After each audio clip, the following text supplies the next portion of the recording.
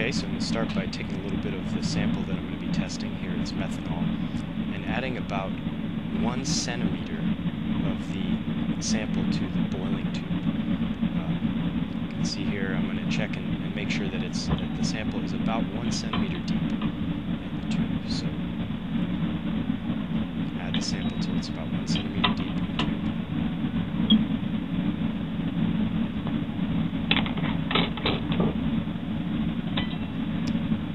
Okay, the next step is to take a small section of capillary tubing that has been sealed on one end, it's open on the other end, and I'm going to insert it open end down into the boiling tube.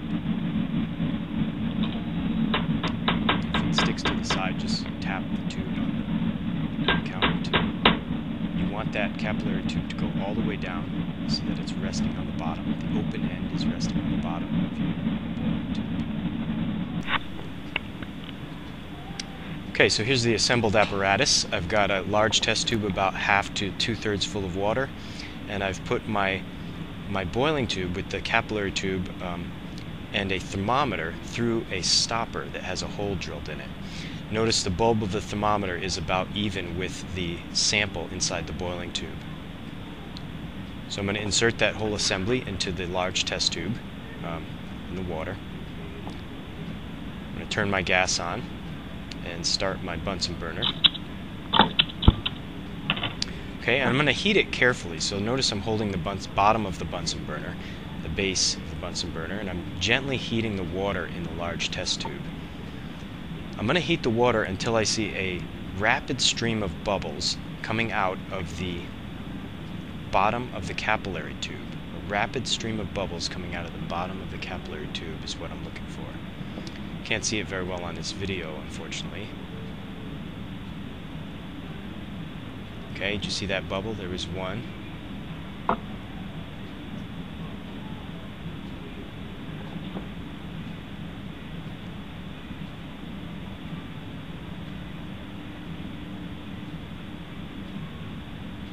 Okay, I'm going to give it a little more heat. I don't have many bubbles coming out.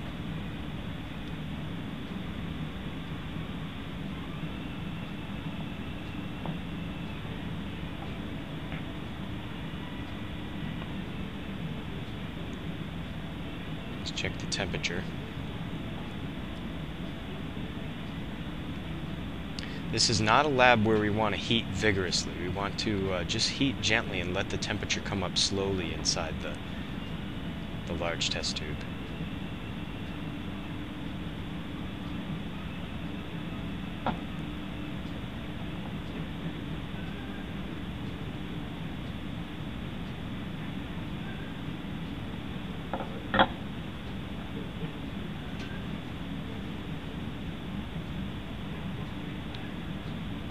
Just a few a slow bubbling here coming out of that inner tube. If you can see the little bubbles moving there, just look just to the left of the red bulb of the thermometer and you'll see small bubbles. Those are forming out of the bottom of the inverted capillary tube inside of the boiling tube. And the rate of bubble formation is speeding up. Okay, and there's a fairly rapid stream there, so I'm going to stop heating at this point. See that stream of bubbles coming out of the small capillary tube? Go ahead and shut my gas off. Now my job is just to wait until those bubbles slow down. You have to be patient here, just wait as the as the it cools off. What happens here is, is we go beyond the boiling point.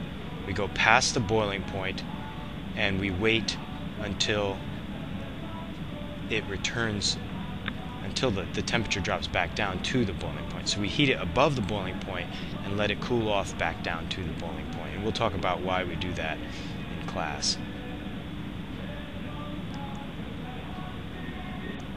So I'm just waiting patiently for the bubbles to slow down. You can see the, the rate of bubble formation has slowed down a little bit just to the left of the red thermometer bulb.